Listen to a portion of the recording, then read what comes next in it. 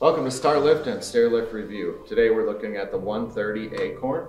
Now this is the Brooks edition, which is a special edition of the Acorn. Basically they're all the same, it just has a different color. Um, this, this stair lift has been one of the most tried and true stair lifts on the market, one of the most long lasting stair lifts. It's manufactured in Great Britain and it is built rock solid. Uh, it has all the safety features you could ever want, including side switches in case your legs are hanging over the staircase. It's going to stop under pan switches, side carriage switches, and lower carriage switches.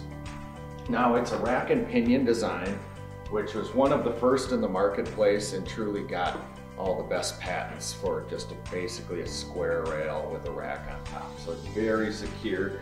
Fix right down to your steps. It has a key switch which will disable it.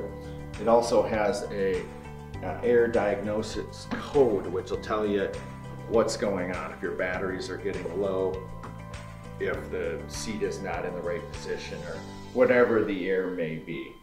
So this one folds up nicely out of the way as well. Now the 130 is a very quiet stair lift. And this is how you get on and off.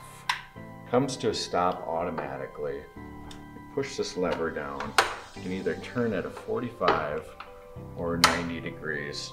Now this will get centered in your staircase and creating a barricade behind you so you can't fall down. If you want to fold it up out of the way, you simply fold everything up here, press this down, and lock it into place.